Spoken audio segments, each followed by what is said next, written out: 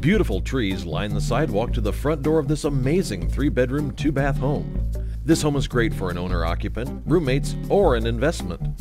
Inside, you'll enjoy the real wood fireplace, vaulted ceilings, beautiful wood floors, and three skylights.